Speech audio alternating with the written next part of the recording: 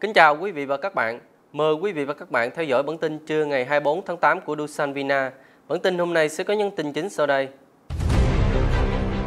Tiếp đón và làm việc cùng lãnh đạo Sở Khoa học và Công nghệ tỉnh Quảng Ngãi.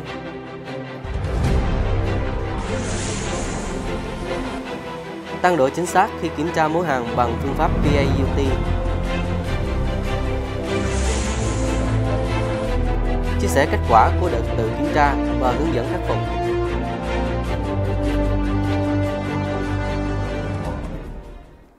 Sau đây là nội dung chi tiết. Vừa qua, đoàn lãnh đạo Sở Khoa học và Công nghệ tỉnh Quảng Ngãi đã có chuyến tham quan mô hình hoạt động cải tiến các hệ thống quản lý và đo lường chất lượng mà Dusanvina đang áp dụng hiệu quả.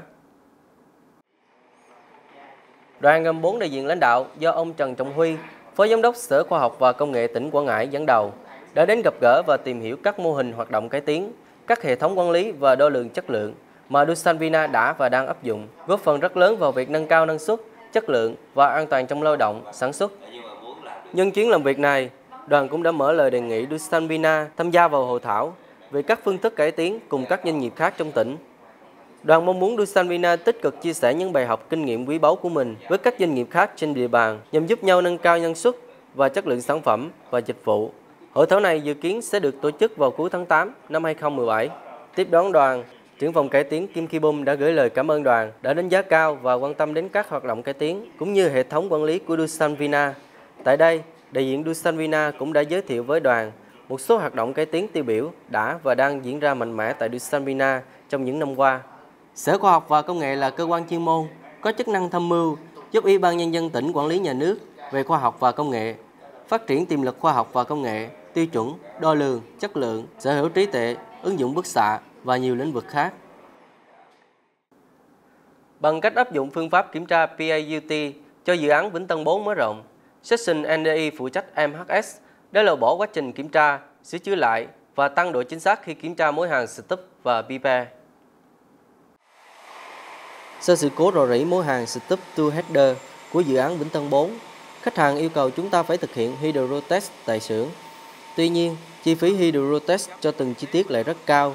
Do đó, công ty đã đề xuất với khách hàng đưa ra phương pháp PAUT vào kiểm tra mối hàng vật liệu B91 thay thế cho phương pháp kiểm tra UT thông thường cho các sản phẩm dự án Vĩnh Tân 4 mở rộng. Tuy nhiên, nhà sản xuất thiết bị lập phần mềm lại không đề cập cấu hình để nhập thông số cho mối hàng gốc để đưa vào máy phân tích. Trước vấn đề này, đội NDI đã thành lập chủ đề áp dụng phương pháp kiểm tra PAUT do anh Đinh Duy Yến làm team leader và thiết lập mối hàng từ phần mềm AutoCAD.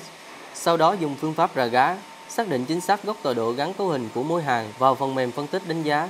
Trước khi có biên dòng máy thì à, mình review biên dòng cũ thì à, khó xác định được khuyết tật à, và vị trí nó chính xác. Nhưng mà sau khi có biên dòng máy thì biên dòng nó thực tế với mỗi hàng hơn. Vị trí, lỗi, khi review thì chính xác hơn. Thợ hàng hiểu hơn về mối hàng và giảm thời gian được review nhanh hơn. Với việc gắn cấu hình mối hàng setup 2B3 vào phần mềm, việc phân tích khuyết tật giờ đây rất chính xác và nhanh chóng hơn, đảm bảo chất lượng, nâng cao sự uy tín từ khách hàng. Trong tương lai, chúng ta sẽ áp dụng phương pháp kiểm tra này cho tất cả các hình dạng mối hàng phức tạp nếu khách hàng yêu cầu kiểm tra. Để giúp các lãnh đạo và quản lý nắm bắt được hiện trạng của việc thực hiện công việc theo đúng quy định và quy trình của công ty hay chưa, bộ phận tuân thủ đã tổ chức chia sẻ kết quả tự kiểm tra đã được tiến hành trước đó. Có 5 nội dung được tiến hành trong đợt tự kiểm tra trên toàn công ty, diễn ra từ ngày 12 đến ngày 30 tháng 6 vừa qua, bao gồm quản lý chung, quản lý thiết bị mua hàng, quản lý vật tư, quản lý sản xuất, chất lượng và quản lý an toàn. Thông qua phương pháp tham khảo danh mục 30 lỗi được phát hiện tại DBSA, sau đó thành lập đội TFT và tiến hành lấy mẫu, thu thập bằng chứng và phân tích. Kết quả sàng lọc và phân tích cho thấy hầu hết các bộ phận và nhà máy đều thực hiện tốt các quy định, song vẫn còn tồn động 15 sai phạm liên quan đến 5 nội dung kiểm tra kể trên. Trong đó, đặc biệt có một số sai phạm là các trường hợp đã được phát hiện trong lần kiểm tra trước đây nhưng vẫn bị lặp lại ở các lần kiểm tra này.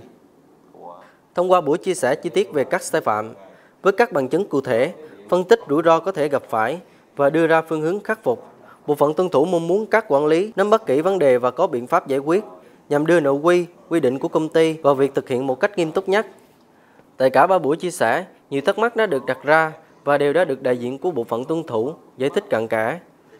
Theo kế hoạch, sau đợt chia sẻ này, công ty sẽ tiến hành một đợt tự kiểm tra khác nhằm ra soát lại những tồn động được phát hiện, đồng thời nâng cao ý thức chấp hành quy trình và các quy định của công ty. Tiếp tục bản tin trưa hôm nay, mời các bạn cùng xem một đoạn phim ngắn về giáo dục an toàn trong lao động, sản xuất, sinh hoạt hàng ngày và một đoạn clip ngắn về các khoảnh khắc thể thao đáng nhớ.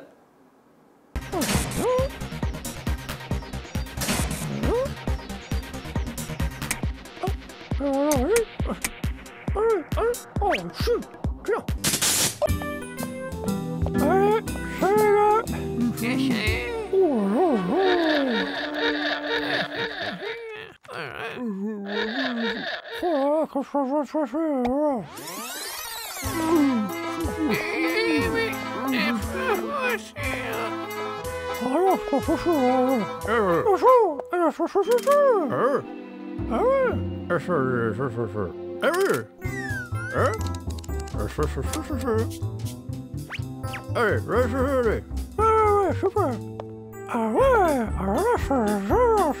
Hey,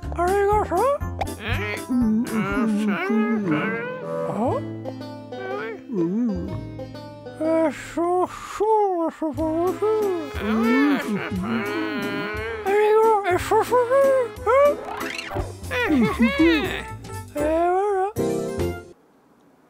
tin trưa nay của Dusan Vina đến đây là kết thúc. Để xem lại toàn bộ nội dung bản tin trưa nay, mời các bạn truy cập vào website youtube.com với từ khóa Dusan Vina DVTV V8N62. Đồng thời các bạn cũng có thể cập nhật những thông tin về Dusan Vina thông qua các mạng xã hội khác như Facebook, Twitter, LinkedIn và Isu với từ khóa Dusan Cảm ơn quý vị và các bạn đã quan tâm theo dõi. Thân ái, chào tạm biệt.